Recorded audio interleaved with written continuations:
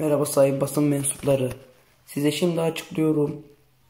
Gezal Galatasaray'da.